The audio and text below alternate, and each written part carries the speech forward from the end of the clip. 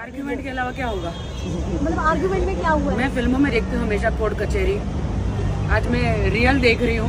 दिल करता है कि मैं खुद उठ उठ के अपना केस खुद लड़ूं। मैं आज सोच रही थी कोर्ट में कि मैंने लॉ क्यों नहीं किया?